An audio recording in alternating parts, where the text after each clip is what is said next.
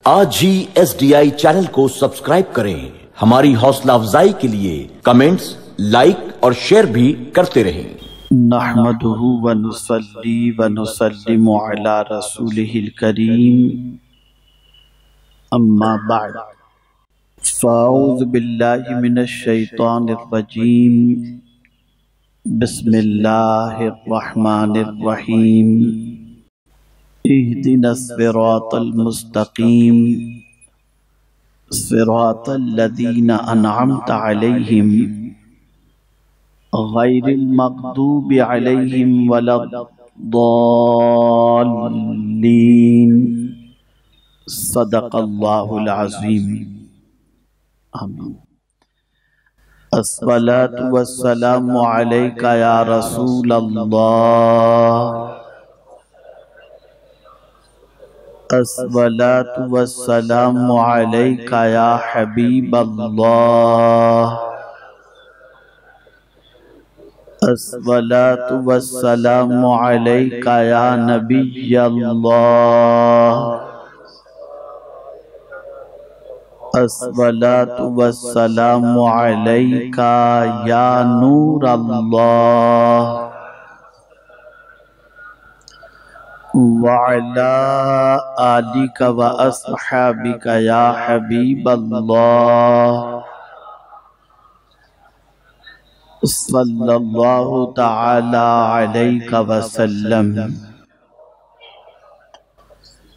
मेरे प्यारे आका सल्लल्लाहु तआला अलैहि वसल्लम के प्यारे दीवानों माह रजबुल मुरज्जब शुरू हो चुका। और ये माह मुबारक हुर्मत वाले महीनों में से एक महीना है। कुरान मुक़दस में रब कदीर जल्ल जलालहू ने इरशाद फरमाया इन इद्दत शुहूर इस्ना अशर शहरन फ़ी किताबिल्लाह। यौम खलक़स समावाति वल अर्द मिनहा अरबअतुन हुरुम।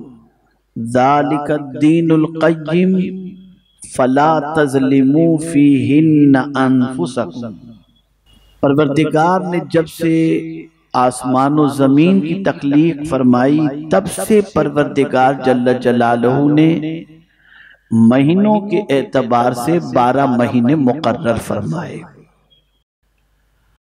और उन बारह महीनों में चार महीने हुर्मत वाले हैं यानी उन चार महीनों का बहुत ही एहतराम करना चाहिए और एहतराम के साथ साथ फला तजलिमू फ़ी हिन्ना अनफुसकुम। इन चार महीनों में अपनी जानों पर जुल्म नहीं करना चाहिए।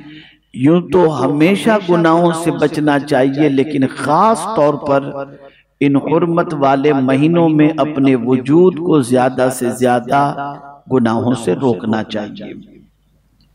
उन्हीं चार महीनों में माह रजबुल मुरज्जब है जो एक अलग चारों में से पड़ जाता है और बाकी तीन महीने मुतवातिर हैं जिकादा दिलहज और मुहर्रम।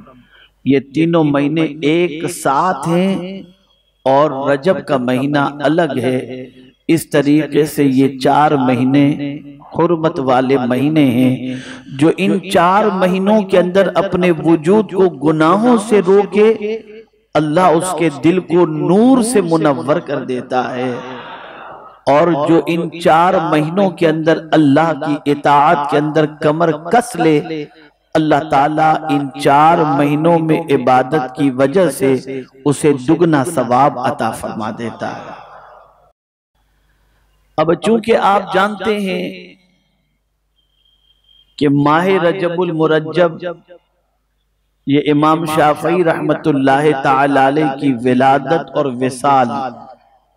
ये दोनों चीज़ें इमाम शाफी रहमतुल्लाह ताला की जो है आपकी विलादत भी माह रजब में हुई और आपका विसाल भी माह रजब में हुआ।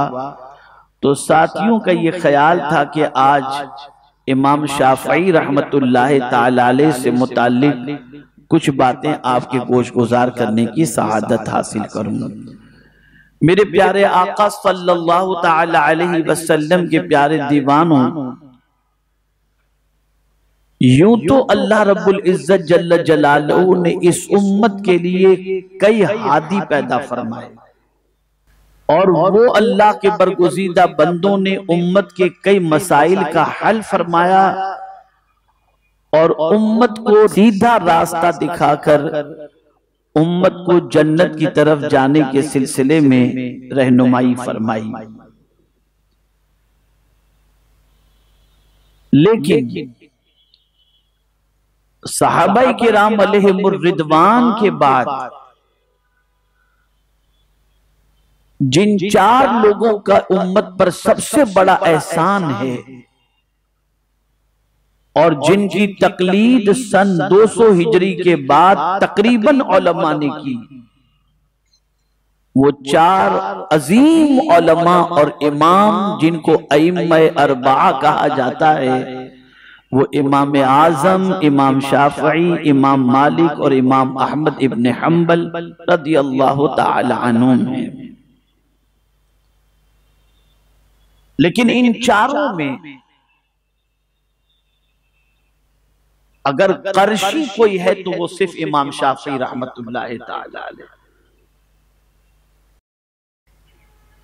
और मेरे प्यारे आका सल्लल्लाहु अलैहि वसल्लम के प्यारे दीवानों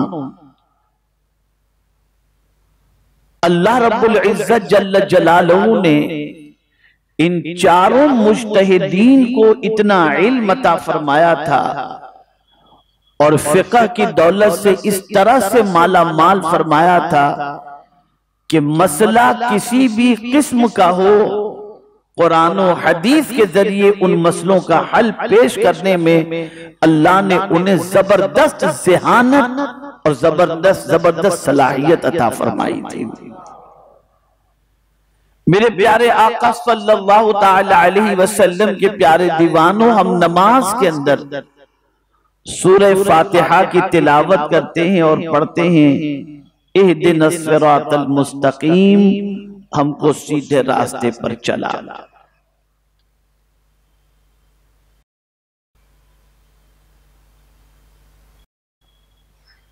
और फिर परवरदिगार की बारगाह में अर्ज़ करते हैं सरातल्लज़ीना अनअमत अलैहिम उनके रास्ते पर चला जिन पर तेरा इनाम नाजिल हुआ।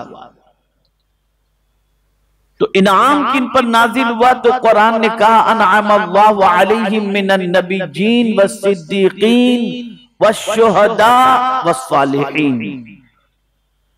नबियों पर इनाम नाजिल हुआ सिद्दीकीन पर नाजिल हुआ शोहदा पर नाजिल हुआ और सालेहीन पर नाजिल हुआ।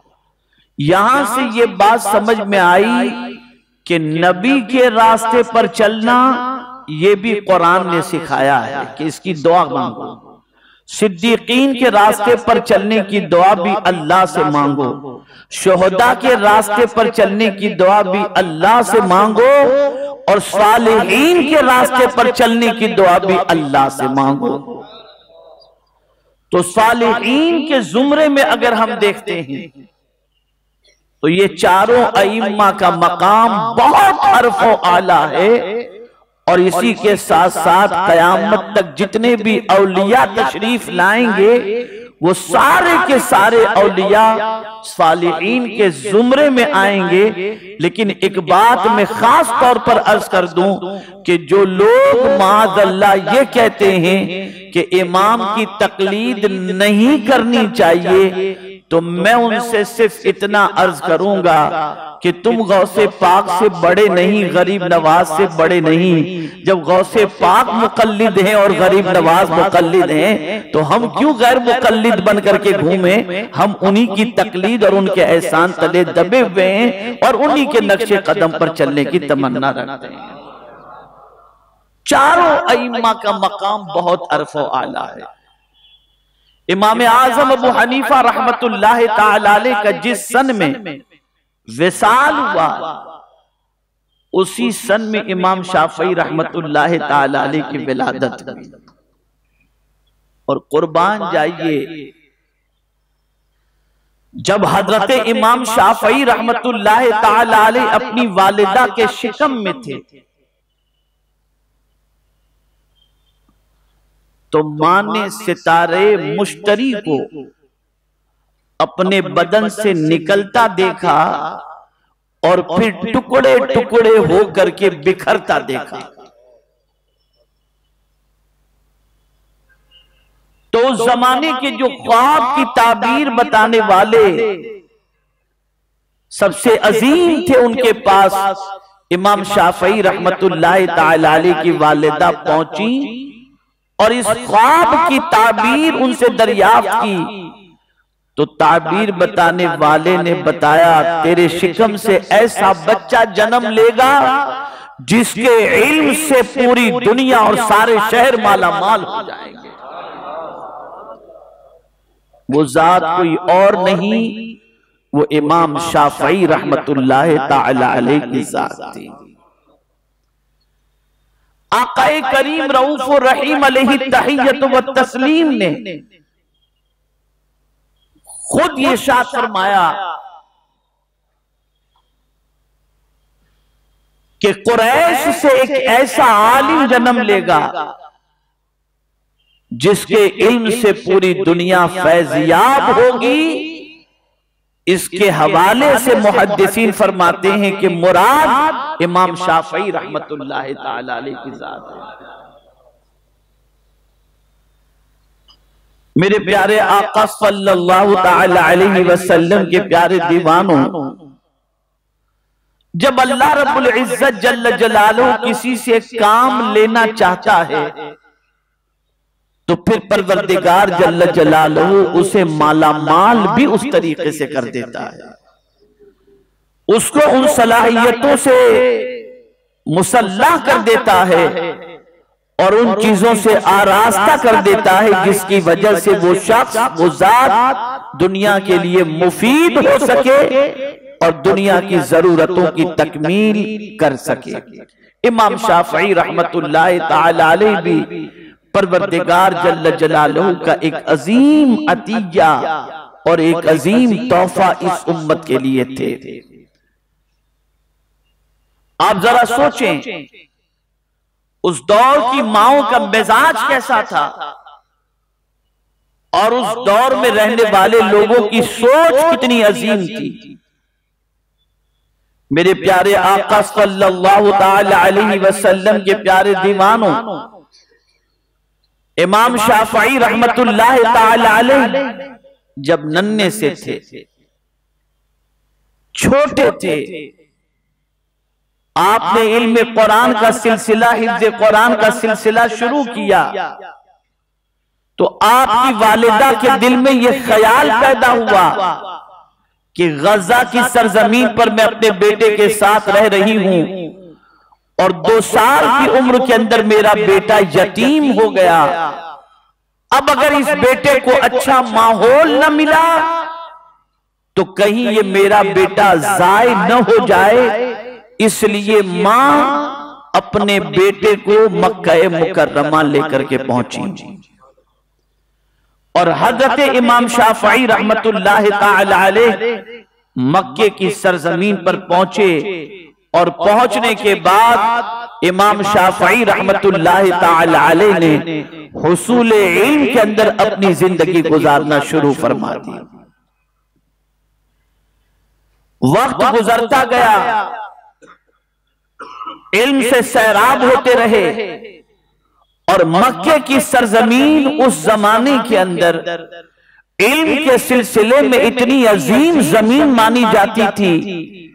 कि मक्के मुकर्रमा दूर दराज से लोग इल्म हासिल करने के लिए आते और मैंने वो मदरसा भी देखा है जिस मदरसे के अंदर हज़रत मखदूम महाइमी रहमतुल्लाह की लिखी हुई किताबें पढ़ाई जाती थी।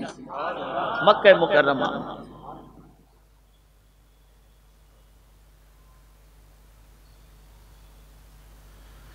तो मक्का मुकर्रमा, इल्म के एतबार से एक ऊँचा मकाम था। उस शहर का लोग दूर दराज से वहाँ पर इल्म हासिल करने के लिए आते।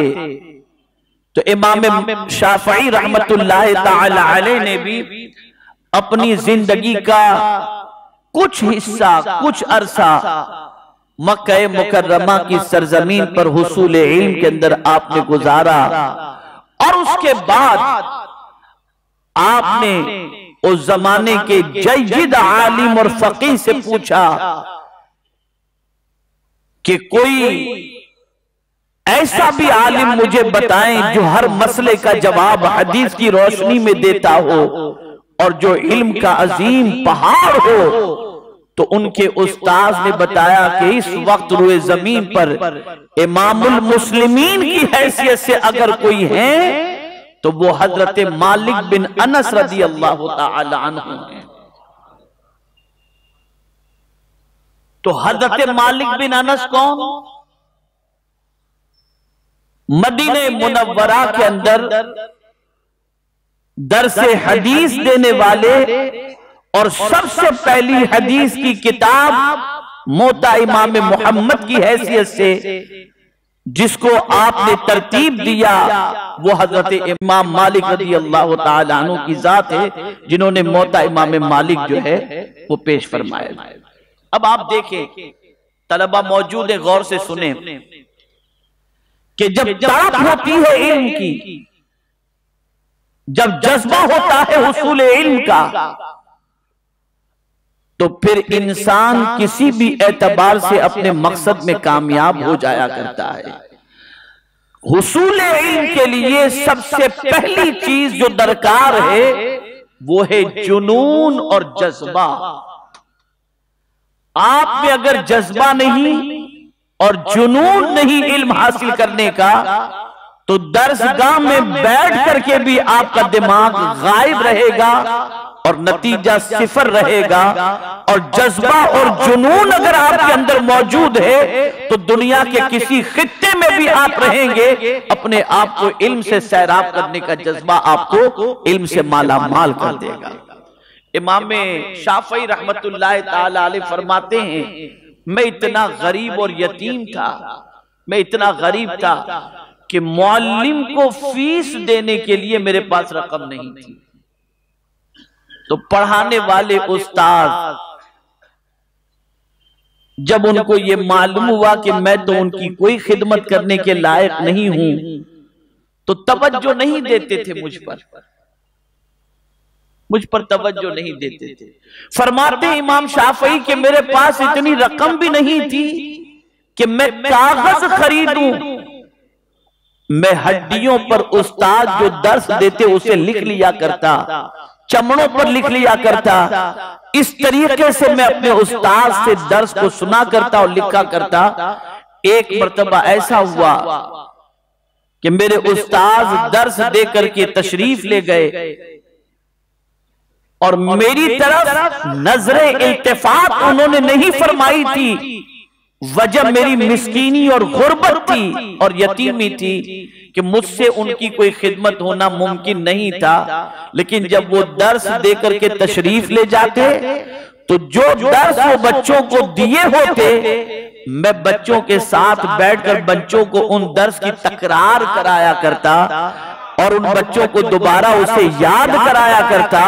उसके बाद मेरे उस्ताद को जब इल्म हुआ तो समझ गए। ये कोई मामूली बच्चा नहीं है बल्कि ये वो बच्चा है जिस पर जितना नाश किया जाए उतना कम है। और उसके बाद इमाम शाफी रहमत फरमाते हैं कि मुझ पर भरपूर तवज्जो उन्होंने देनी शुरू की और बड़ा करम फरमाया। मेरे प्यारे आका सल्लल्लाहु अलैहि वसल्लम के प्यारे दीवानों सिर्फ़ बात करने से इंसान की जात को नहीं तस्लीम किया जाता। जात। मनवाने के लिए अपनी हकीकत और अपनी कैफियत को इंसान के सामने पेश करना पड़ता है। तब जाकर आप अपने अंदर अगर वलवला और जज्बे का इजहार करें। तो मैं समझता हूँ हसूल इल्म के लिए अल्लाह ने जब फरमा दिया उसके हबीब सल्लल्लाहु अलैहि वसल्लम से कि मेरे महबूब अगर तुम्हें अल्लाह से कुछ मांगना है तो ये मांगो। रब जिदनी इल्मा। मेरे मौला मुझे इल्म ज़्यादा अता फरमा और हुजूर सल्लल्लाहु अलैहि वसल्लम ने जब फरमा दिया कि माँ की गोद से लेकर कब्र की गोद तक इल्म हासिल करो तो परवरदिगार के प्यारे हबीब के फरमान की रोशनी में ये हो ही नहीं सकता कि कोई इल्म की तड़प लेकर के निकले और मौला उसे इल्म न अता फरमाए। इसीलिए इल्म के कई जराए बताए गए। उसूल इल्म के कई जराए बताए गए। एक इल्म सीना भी है इल्म किताब भी है इल्म लदुन्नी भी है। ये सारी चीज़ों का ताल्लुक तड़प से है जुनून से है। इसे जहन में रखिएगा। खास तौर पर तलबा जहन में रखें। कि आप अगर तलबे साबिक लेकर के निकले हैं तो फिर इंतज़ाम मेरा मौला गैब से आपके लिए फरमा देगा।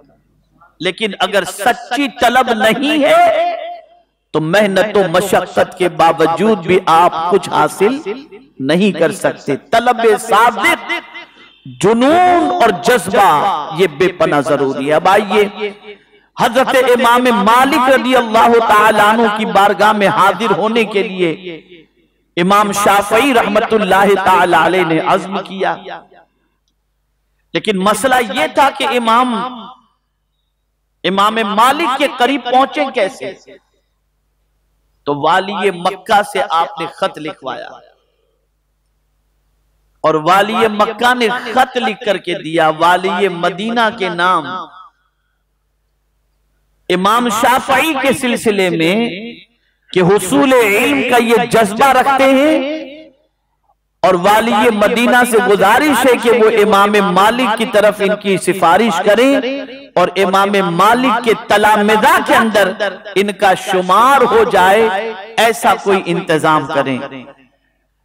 वाली मक्का का खत लेकर इमाम शाफी रहमतुल्लाह वाली मदीना के वहाँ पहुँचे। मदीने मुनवरा में पहुँचने के बाद कौन इमाम मालिक? यहाँ भी एक बात अर्ज़ कर दू। इसे जहन में रखिएगा। इल्म भी इश्क मुस्तफ़ा से मिला करता है। जितना इश्क मुस्तफ़ा सल्लल्लाहु अलैहि वसल्लम ज़्यादा होगा, इल्म भी अल्लाह उतना ही ज़्यादा अता करेगा। इसलिए कि नाइब रसूल अल्लाह के रसूल ने किसी और को नहीं बनाया साहिब इल्म ही को बनाया। तो जब हुजूर की मोहब्बत ज़्यादा होगी तो हुजूर अपनी विरासत भी उसे ज़्यादा अता फरमाए। में तो हज़रत इमाम मालिक रदी अल्लाह तबारक अन ऐसे आशिक रसूल थे। ऐसे आशिक रसूल थे। कि आप कभी मदीने मुनव्वरा में सवारी पर सवार होकर के नहीं चले। पूरी ज़िंदगी मदीने में पैदल चलते रहे। कभी मदीने की दीवार को चूमते। कभी मदीने की ज़मीन को चूमते। लोग कहते मालिक दरो दीवार को क्यों चूम रहे हो? आखिर इसमें ऐसा क्या है? तो जवाब में इरशाद फरमाते तुम दरो दीवार को देख रहे हो, मैं नक्शे मुस्तफ़ा को देख रहा हूँ। कि हो सकता है इस गली से गुजर रहमत आलम रहमत आलम सल्लल्लाहु अलैहि वसल्लम का हुआ हो और आका ने अपना दस्ते करम इस दीवार को लगाया हो, इसलिए मैं इस दीवार को चूमता हूँ। हज़रत इमाम मालिक रज़ी अल्लाह तबारक अन्हो, इस टिंजे की हाजत होती तो मदीने से दूर निकल जाते शहर से और वहाँ जाकर ज़रूरत से फारिग होकर के तशरीफ़ लाते। और इमाम मालिक रज़ी अल्लाह तबारक हो हज फ़र्ज़ के अलावा मक्के मदीने मुनवरा से आप निकले ही नहीं वहीं पर आपने अपनी ज़िंदगी तमाम फरमा दी। अब आप देखें हज़रत इमाम मालिक रदी अल्लाह तबारक व तआला से इल्म हासिल करने के लिए हज़रत इमाम रहमतुल्लाह तआला रवाना हुए। बच्चों, बहुत गौर से सुनना, तलबा के लिए बहुत दर्स है इसमें बहुत बड़ा दर्स है रवाना हुए तलब सादिक, जब मदीने मुनवरा पहुँचे तो वाली मदीना के पास पहुँचे और जाकर के उन्होंने वाली मक्का का खत दिया। और अर्ज़ किया कि आप इमाम मालिक रज़ी अल्लाह तु से मेरी सिफारिश फरमा दें। तो वाली मदीना ने खत देखा तो कहा कि तुम अगर मुझसे ये कहो कि मक्के मुकर्रमा से मदीने मुनवरा तक मैं पैदल आऊँ जाऊँ तो ये मेरे लिए आसान है।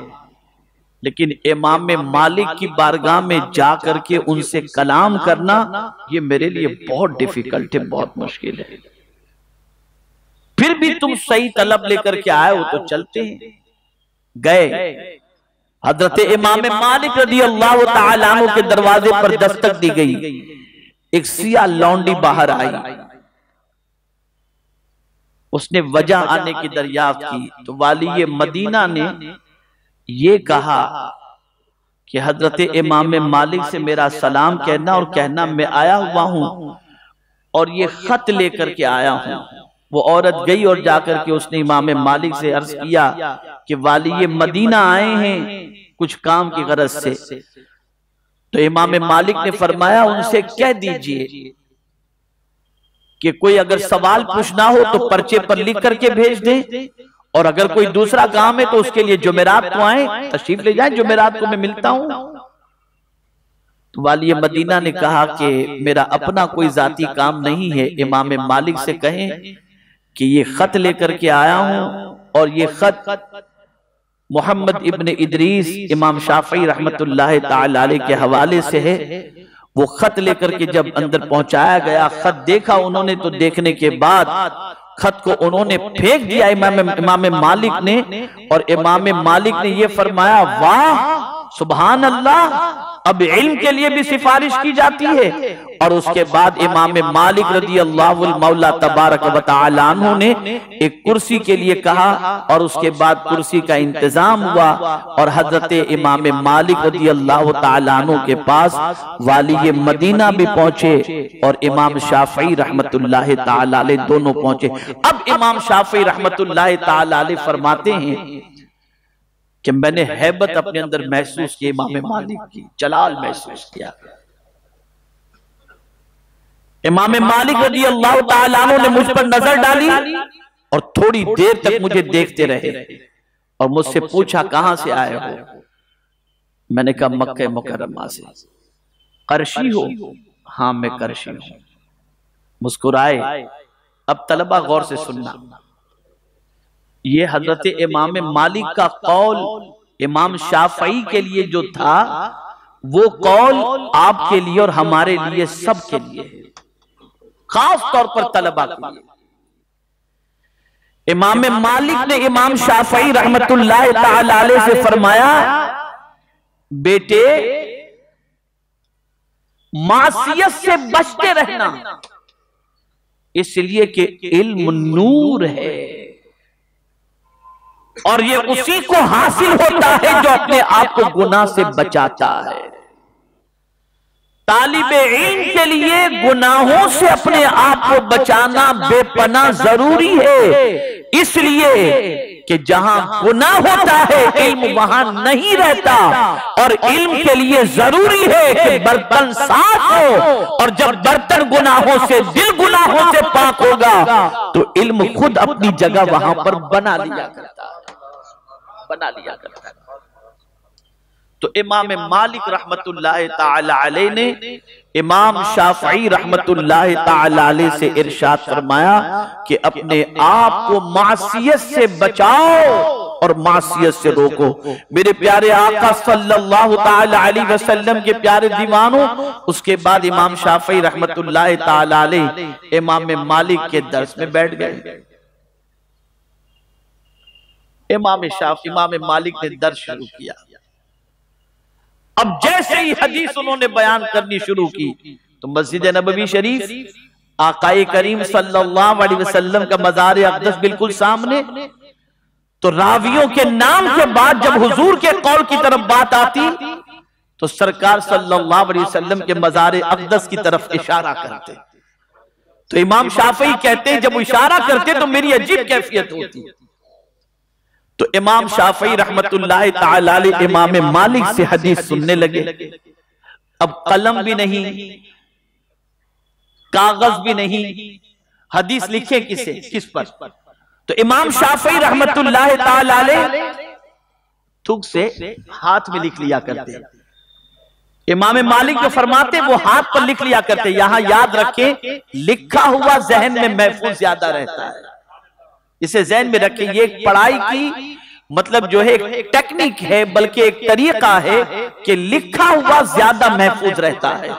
इसीलिए तालीम के आगाज़ के लिए ही परवरदिगार जल्ल जलालहू ने कसम जब याद फरमाई तो नून वल कलम वमा यस्तुरून। कलम की कसम परवरदिगार ने याद फरमाई खैर तो अर्ज़ ये कर रहा था कि इमाम शाफी रहमतुल्लाह ताला से लिख लेते। इमाम मालिक ने 25 हदीसें बयान फरमाई उस महफिल के अंदर।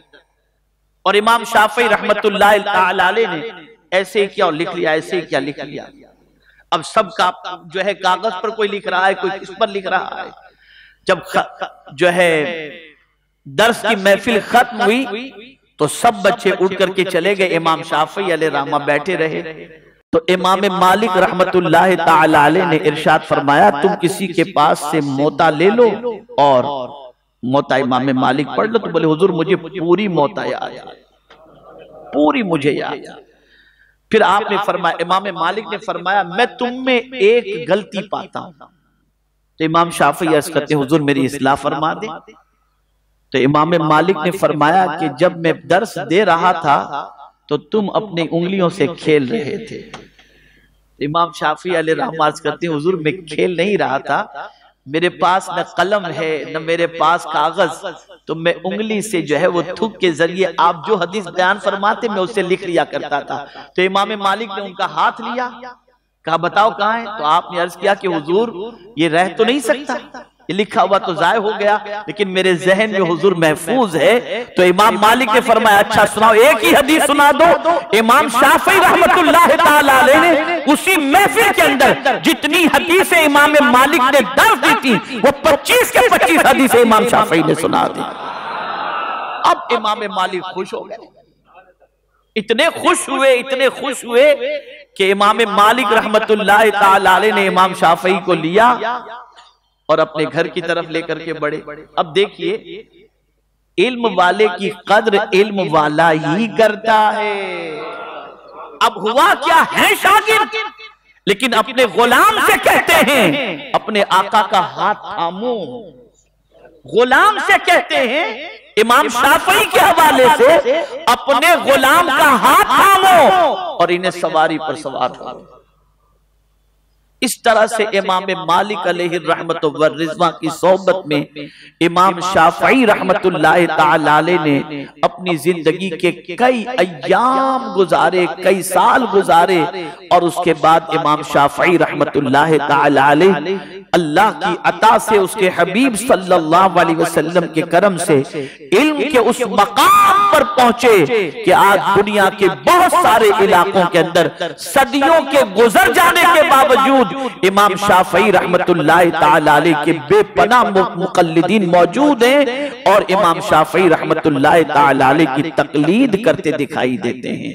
मेरे प्यारे आका सल्लल्लाहु वसल्लम के प्यारे दीवानों इमाम मालिक तो मोहब्बत बड़ी नज़र से देखते थे हज़रत इमाम अहमद इब्ने हम्बल रज़ी अल्लाह भी इमाम शाफी को बड़ी अदब बड़ी ताजीम की निगाहों से देखा करते बड़ी अजमत की निगाहों से देखा करते बड़ा एहतराम किया करते थे इमाम अहमद इब्ने हम्बल भी इमाम शाफी रहमतुल्लाह ताला का और इमाम शाफी रहमतुल्लाह ताला जब बहुत सारे मसाइल दरपेश होते तो कूफा तशरीफ़ ले जाते और इमाम शाफी रहमतुल्लाह ताला इमाम आज़म अल रहमा के आस्थाने पर हाजिर भी होते और कहते थे कि मैं जब इमाम आज़म के आस्थाने पर पहुँचता हूँ तो मैं अपने मसलक पर नहीं इमाम आज़म के मसलक पर नमाज़ नमाज़ अदा करता हूँ। और इमाम शाफी रहमतुल्लाह ताला माह रमज़ान शरीफ में साठ कुरान मुकद्दस खत्म किया करते। सफ़र के अंदर कुरान शरीफ की तिलावत किया करते। कुरान मुकदस से बड़ा शगफ था। और मेरी ये नसीहत आप जुमला तलबा हमेशा के लिए जहन में महफूज कर लो कि अगर आप चाहते हैं कि अल्लाह आपसे दीन का काम ले तो कुरान के इस फॉर्मूले पर अमल करें। वल्लदीन युमस्सिकून बिल किताब व अकामुस्सला इन्ना ला नुदीउ अजरल मुस्लिहीन, जो किताब के दामन को थामता है और नमाज़ कायम करता है। अल्लाह इसलाह करने वालों के अज्र को जाय नहीं फरमाता।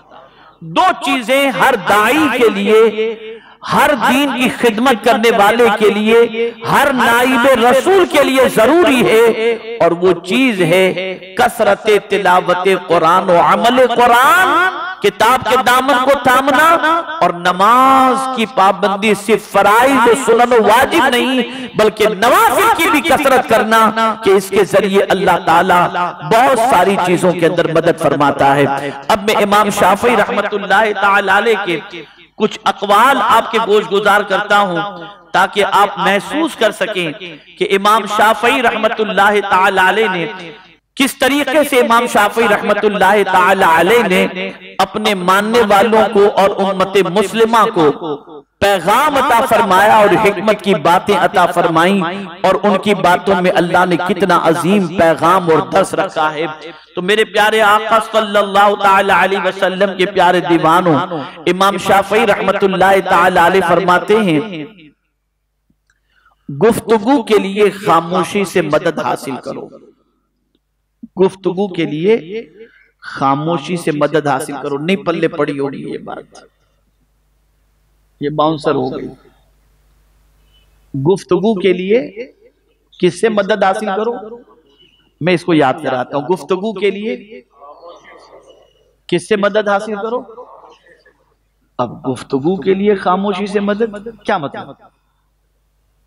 तवज्जो चाहूँगा। गुफ्तगु के लिए खामोशी से मदद। क्या मतलब? मतलब? यह है कि जब भी कुछ बोलना हो तो पहले चुप रह करके जो बोलना है उसको समझो कि क्या बोलना है। तो उस खामोशी से पहले मदद लो। ये नहीं कि पढ़ पढ़ पढ़ पढ़ जो समझ में आया बोलना शुरू कर दो। नहीं। पहले खामोश हो सोचो। इस खामोशी के ज़रिए गुफ्तगु के सिलसिले में मदद हासिल करो कि क्या जुमला जमा से निकालना है। और ये बात याद रखें मेरे प्यारे आका सल्लल्लाहु अलैहि वसल्लम के प्यारे दीवानों कभी एक जुमले से बिगड़ी बन जाती है और कभी एक जुमले से बनी हुई बिगड़ जाती है।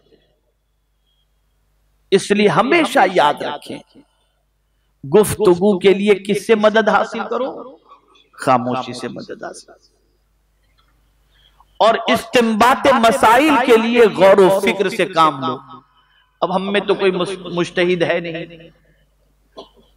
लेकिन अगर कोई मसला दरियाफ्त आपसे करे फिक हनफी की रोशनी में फिक शाफई की रोशनी में तो आप बस अगर बिल्कुल पुख्ता यकीन है तो आप फ़ौरन बता दें। और नहीं तो गौर करें। गौर व फ़िक्र के बाद आप कोई जवाब दिया करें और याद रखें मेरे प्यारे आका सल्लल्लाहु अलैहि वसल्लम के प्यारे दीवानों इंसान जितना गौर फ़िक्र करता है परवरदिगार जल्ल जलालो उसके लिए उतने ही इल्म के दरवाजे खोल दिया करता है। इसे जहन में रखें। अब ये हर एक के लिए है। मुबल्लिगीन के लिए भी है माँ बाप के लिए भी है बड़ों के लिए भी है ओलमा के लिए भी है। बड़ी प्यारी नसीहत इमाम शाफी रहमत ने फरमाई आप इरशाद फरमाते हैं जो आदमी अपने भाई को तन्हाई में नसीहत करता है तो वो उसके साथ खैर खाही और इस्लाह करता है। तन्हाई में नसीहत। आपके साथी से कोई गलती हो गई आपके बेटे से कोई गलती हो गई आपके शागिर्द से कोई गलती हो गई। अब दस के बीच में आपने डांटना डपटना और टोकना शुरू कर दिया मना फरमा गया। लेकिन आप अकेले में बुलाए और बुला करके आपने समझाया उसे नसीहत की उसकी गलती की आपने इसलाह की। तो दर हकीकत इमाम शाफी ताला के कौल के मुताबिक, अगर कोई अपने आप को खैर खा साबित करना चाहता है कि मैं इसका भला चाहने वाला हूँ तो पब्लिक में उसको डांटने से भला चाहने वाला नहीं होगा। भला चाहने वाला तब होगा जब आप अकेले में उसे नसीहत करो और अकेले में उसकी इसलाह करो। ये इमाम शाफी रामा फरमाते हैं। और जो ऐलानिया नसीहत करता है जो ऐलानिया नसीहत करता है तो वो उसको रुसवा करता है उसके साथ खयानत करता है।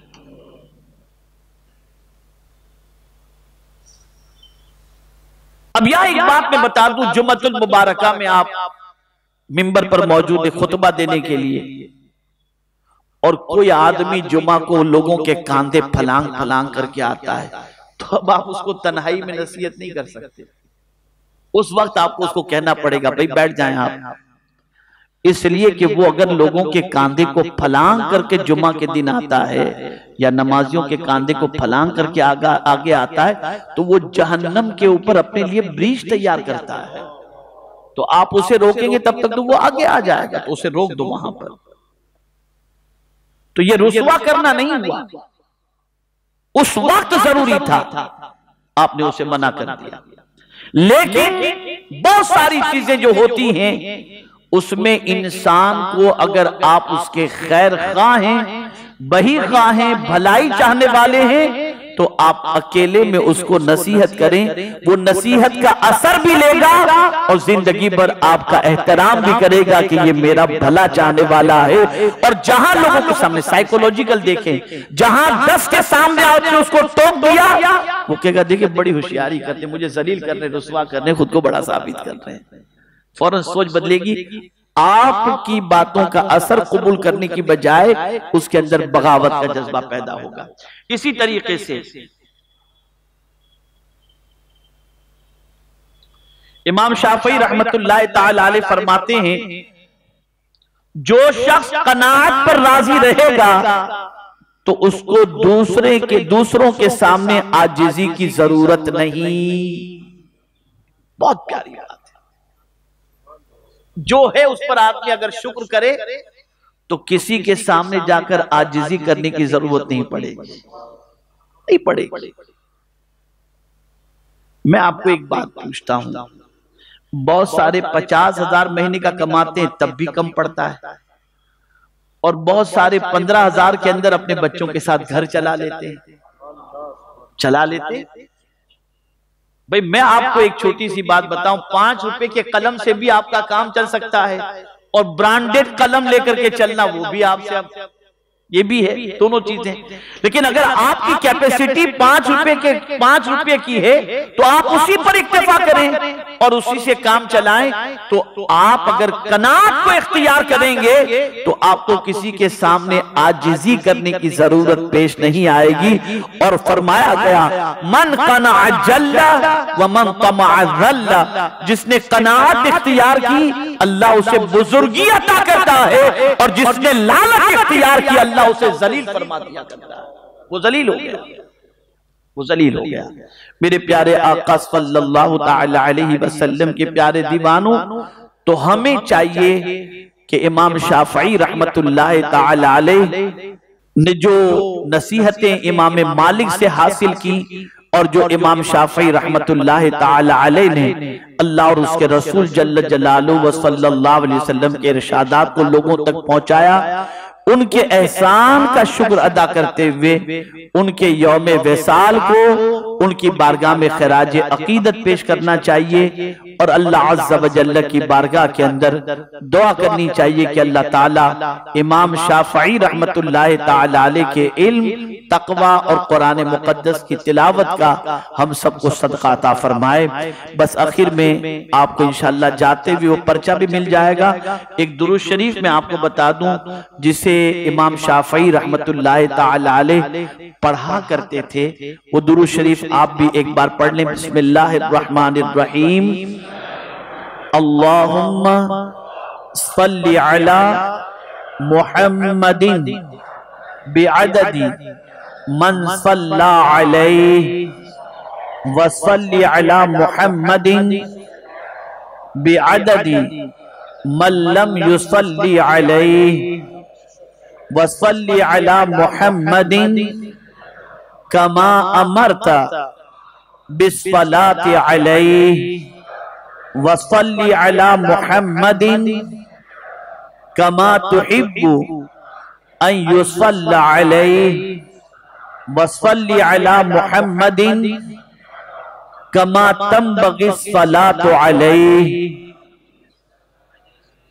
मेरे प्यारे आका सल्लल्लाहु अलैहि वसल्लम के प्यारे दीवानों हज़रत इमाम शाफी रहमतुल्लाह ताला को किसी ने ख्वाब में देखा और पूछा कि अल्लाह ने आपके साथ क्या मामला किया?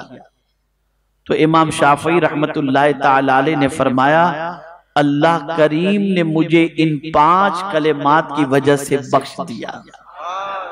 जो मैं हुजूर नबी अकरम सल्लल्लाहु अलैहि वसल्लम की खिदमत में पढ़कर पेश किया करता था और आपने इसी दुरुज शरीफ का ज़िक्र फरमाया। है तो ये वो दुरुज शरीफ है जिसके हवाले से इमाम शाफी रहमत ताला फरमाते हैं कि अल्लाह ने इस दुरूद की वजह से बख्श दिया। अल्लाह ताला हम सबको भी इस दुरूद मुबारक के सदक़े में बख्श दे और परवरदिगार पूरी दुनिया के मुसलमानों पर करम की नज़र फरमाए और परवरदिगार फजल करम की बारिशें नाजिल फरमाए वमा अलैना